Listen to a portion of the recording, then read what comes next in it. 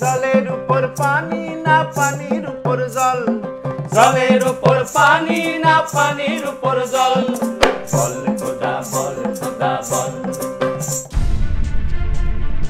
থেমে গেল সুরের সফর। আর গলা ছেড়ে গাইবেন না তিনি। চলে গেলেন দোহার খ্যাত কালিকা প্রসাদ। আর শোনা যাবে না মন ছুঁয়ে যাওয়া মাটির গান। দোহারে বন্দে সুরারে বন্দে আনন্দে বন্দে গুরু মুর্শিদে নমঃ। আনন্দে বন্দে লোকসঙ্গীতের এই নিষ্ঠাবান গবেষকের সুরের সফর থামিয়ে দিল এক ভয়াবহ পথ দুর্ঘটনা। মঙ্গলবার দোহারে সঙ্গীতের নিয়ে সিউড়িতে অনুষ্ঠান করতে যাচ্ছিলেন কালিকা প্রসাদ। প্রত্যক্ষদর্শীদের দাবি, হুগলির গুড়াপের কাছে রাস্তার ধারে লোহার ফেন্সিংয়ে ধাক্কা মেরে প্রায় পনেরো ফুট নিচে জলাশয়ে উল্টে পড়ে গাড়িটি। আমরা দুর্গাপুর এক্সপ্রেসওয়ের যেটা বর্ধমান বাউন্ড ফ্ল্যাঙ্ক সেখানে দাঁড়িয়ে রয়েছে। আমার ঠিক বাঁ দিকে এখানে একটা লোহার ফেন্সিং এর মতো রড রয়েছে। গাড়িটি প্রথমে এসে এখানে হিট করে, তারপর পুরো ফেন্সিং কিন্তু সম্পূর্ণভাবে ভাঙা এবং সামনে একটা কালভার্ট রয়েছে। সেই কালভার্টের ওখানে গিয়ে গাড়িটি সাইড টার্ন করে সম্ভবত নিচে পড়েছে। এই যে সামনে যে জলাশয়, এখানেই কিন্তু গাড়িটি পড়ে। দুর্গাপুর এক্সপ্রেসওয়ের ওপর গুড়াপের মালঞ্চ এলাকায় একটি কালভার্ট রয়েছে। তার আগে রাস্তার ধার বরাবর রয়েছে লোহার ফেন্সিং। প্রত্যক্ষদর্শীদের দাবি, কালভার্টে ওঠার আগেই গাড়িটি হঠাৎ নিয়ন্ত্রণ হারিয়ে রাস্তার একেবারে বাঁদিকে চলে যায়। লোহার ফেন্সিংয়ে ঘষা খেতে খেতে সামনের দিকে এগিয়ে কালভার্টে ওঠার ঠিক মুখে কংক্রিটের কাঠামোতে সজোরে ধাক্কা মারে গাড়িটি। তারপর ফেন্সিং টপকে গড়িয়ে যায় নিচে। কালভার্টের প্রায় পনেরো ফুট নিচে একটি জলাশয় রয়েছে। সেখানে উল্টে পড়ে গাড়িটি। জলকাদার নিচে চলে যায় গাড়ির প্রায় অর্ধেক অংশ। ওইখান থেকে গাড়িটা ওইখান থেকে মা ওইখান থেকে মারলো, ওই ওগুলোকে মেরে একদম পুরো উল্টে পড়ে একদম ওখানে পড়ল।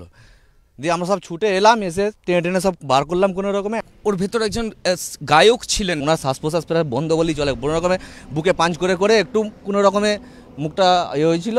নিঃশ্বাস একবার ফেলল, তারপর আমরা আর কিছু বুঝতে পারিনি গো। তারপর ওকে তুলে এসে এখানে অ্যাম্বুলেন্সে তুলে দেওয়া হলো। গাড়ির দরজা ভেঙে উদ্ধার করা হয় কালিকা প্রসাদ ভট্টাচার্য এবং তার সঙ্গীদের। পাঠানো হয় বর্ধমান মেডিকেল কলেজ হাসপাতালে। সেখানে কালিকা প্রসাদকে মৃত ঘোষণা করেন চিকিৎসকরা। তার সঙ্গীরা এখনও চিকিৎসাধীন। গুড়াপে উদ্ধার কাজ চলাকালীন সেখানে যান হুগলির পুলিশ সুপার। উদ্ধারের পর দেখা যায় গাড়ির সামনের ডান দিকের চাকাটি নেই। ডান দিকের টায়ারটা খুলে যাওয়ার কারণেই কিন্তু এই মর্মান্তিক দুর্ঘটনা এমনটাই প্রাথমিক তদন্তে প্রত্যক্ষদর্শীদের পাওয়া স্টেটমেন্টের ভিত্তিতে পুলিশ আধিকারিকরা জানতে পেরেছে। যা দেখে দুর্ঘটনার তিনটি সম্ভাব্য কারণ উঠে আসছে পুলিশের প্রাথমিক তদন্তে। চালক হয়তো ঘুমিয়ে পড়েছিলেন। তার ফলেই দুর্ঘটনা। ফেন্সিং এর ধাক্কা মারার পরও ব্রেক না কষায় পরপর ধাক্কায় খুলে যায় চাকা। কালভার্টে ওঠার মুখে টায়ার ফেটে চাকাটি গাড়ি থেকে খুলে যায় আর তার জেরেই গাড়িটি নিয়ন্ত্রণ হারায়। টায়ার ফেটে যাওয়ার ফলে গাড়িটি নিয়ন্ত্রণ হারিয়ে লোহার ফেন্সিং ও কালভার্টে সজোরে ধাক্কা মারে আর তার জেরেই চাকাটি গাড়ি থেকে খুলে যায়। একটা প্রথমে ধাক্কা, তারপরে মনে হলো আরেকটা ধাক্কা। কারণ এটা পুরো জিনিসটা হয়েছে আমাদের প্রায় পাঁচজনের মধ্যে যারা আমরা এখন বেঁচে আছি চারজন, তাদের প্রত্যেকেই আমরা ঘুমোচ্ছিলাম। মনে হলো একটা বিকট আওয়াজ, তারপরে হয়তো গাড়িটা পাল্টি খেয়েছে সেরকম, কিন্তু কোনো ধাক্কা বা কিছু হয়নি। মানে অন্য কোনো গাড়ি এসে পেছন থেকে বা সামনে থেকে ধাক্কা দিয়েছে, সেরকম কিছু হয়নি। কি হয়েছিল সেটা আলটিমেটলি দেখার আর সুযোগ হয়নি।